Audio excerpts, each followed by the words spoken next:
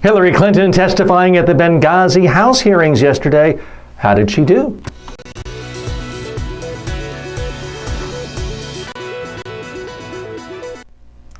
Appearing before a House or Senate committee investigating you is never an easy task. It's complicated even more if you happen to be running for president and the opposing party is controlling the investigation. So, given that, how did Hillary Clinton do? Now, for many people, giving testimony in front of a hearing is the hardest type of speech or presentation. You are speaking, it's a type of presentation. It's not just can you be articulate, be confident, appear relaxed, answer questions well, get your point across.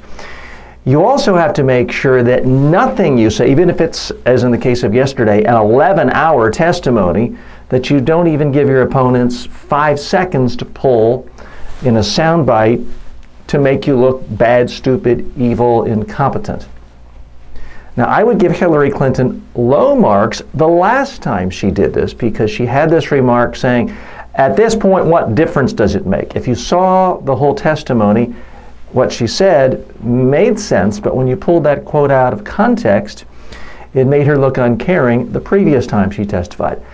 This time, I think she was perfect throughout in the sense that she didn't give her opponents any ammunition. Now, I understand. Some of you, if you already hate Hillary, you see her on TV for a second and you're convinced she just lost the election and lost another million votes. Not quite that way. Here's the basic dynamic. Of course, there are going to be Democratic, liberal, activist media types, no matter what happened, would say Hillary did a great job. They're going to be conservative, activist, Republican activists who say no matter what happened, she destroyed herself, humiliated herself. You can't look at those. What I look for are sort of the moderate independent voices. By my estimation, all of those people thought that Hillary came out ahead and the Republicans looked bad in the hearings yesterday. Even more significant, there were a number of prominent conservatives, like John Podhoretz of the New York Post, no Hillary fan, who said basically the Republicans should just go up and swear Hillary in as president now. They, they humiliated themselves and they made Hillary look so good. By, uh, by my estimation, there were about 10% of prominent conservative Republican activists who think that Hillary won this and the Republicans looked horrible. Uh, there certainly was not any equivalent on the liberal or Democratic side who thought that Hillary lost this. Now, judge for yourself. I'm including below a link to some of the highlights of the hearing, and you can see for yourself. Again, if you already hate Hillary and the mere sight of her makes you ill, this isn't going to change your mind.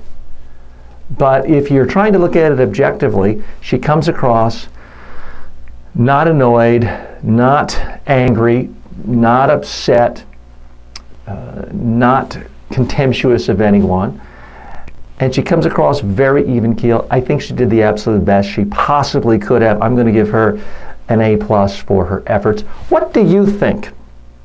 Again, I'm not trying to turn this into some partisan hack playground. I don't really want to know your thoughts in general of Hillary and Democrats or Republicans. I just want to know on her performance, what did you think about how she did in the hearings? Please post your comments in this YouTube channel or on my Facebook page or any place else that you can put your comments.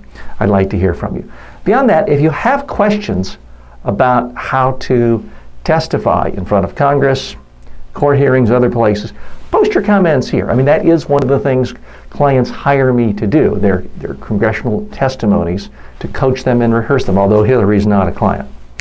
Finally, if you want to improve your own presentation skills, if you go to my website, mediatrainingworldwide.com, I'll give you access to a free online presentation training course. All you have to do is go to mediatrainingworldwide.com and I'll send you that course at no charge.